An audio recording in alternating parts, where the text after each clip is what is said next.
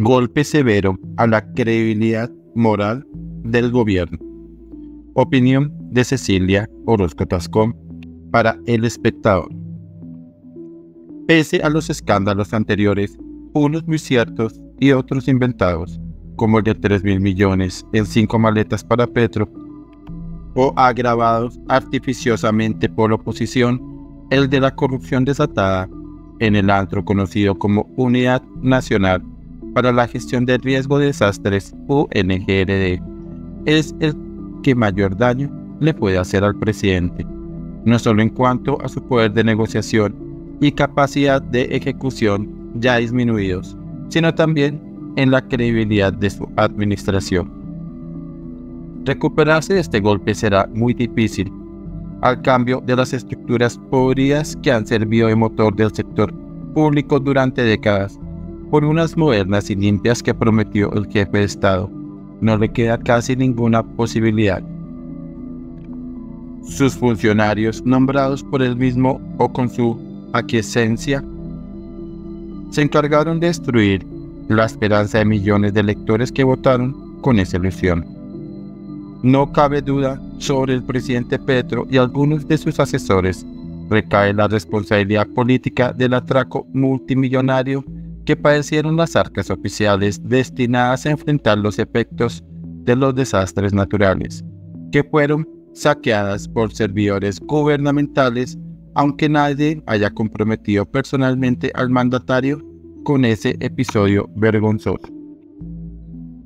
Por lo pronto, el presidente asumió la culpa por el nombramiento del sujeto Olmedo López, director de esa entidad hasta hace poco. Al parecer, uno de los principales operadores del multimillonario robo, pero no reconoció cercanía con los demás involucrados.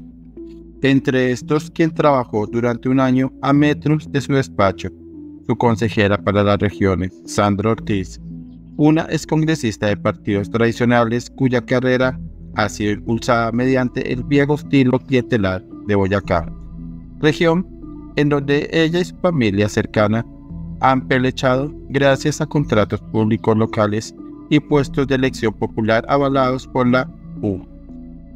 Primero, y por el verde después.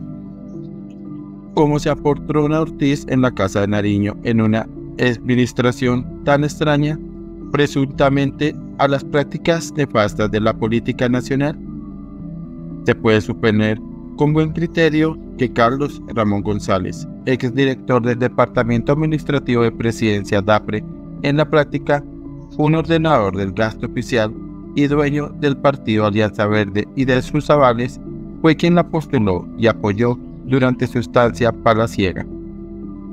González también sería, por lógica partidista, el lazo que ataba a la UNGRD y a Ortiz con el presidente del Senado, el oscuro Iván Nami, elegido por el Verde, una colectividad oportunista compuesta por aspirantes a carrera política que no cambian o no eran bien recibidos en los otros partidos, enmohecidos y atiborrados de politiqueros.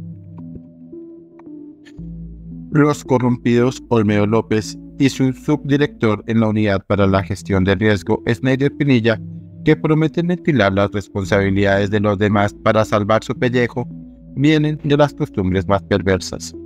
López, no obstante su militancia en apariencia de izquierda, ha sido aliado clave del más reputado senador conservador, Carlos Andrés Trujillo, es alcalde de Itagüí, municipio en donde se concentra un número apreciable de contratos de la UNGRD que aún no han sido investigados.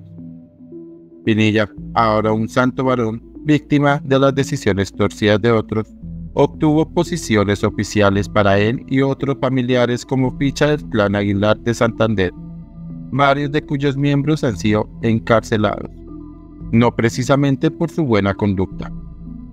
Algunos de los funcionarios manchados con el robo de los dineros estatales no han tenido relación con el gobierno en el trámite de sus reformas. Otros sí. Lo cierto es que cuando se levante un dedo acusador habrá que mirar a cuál mano le pertenece porque, ciertamente, el Partido Liberal, con el presidente en la Cámara, el Verde, la U, Cambio Radical o el Centro Democrático, cuyas bancadas eligieron a NAME para la presidencia del Congreso, no tienen autoridad moral para señalar a nadie. Están untados hasta el cuello con el mismo pecado. Entre paréntesis.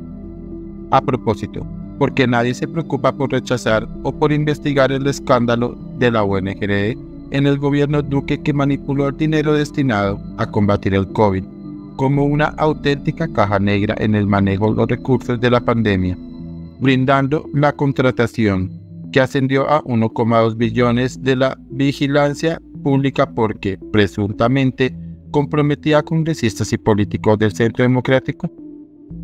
Entre paréntesis 2.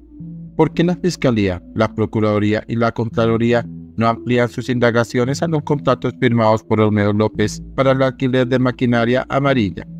camiones y tractomulas por 130 mil millones que recayeron justo en Itagüí, o los miles de contratos concentrados en el departamento de Santander de los Aguilar, o la contratación para la construcción y reconstrucción de los reservorios de agua Jagüeyes en La Guajira.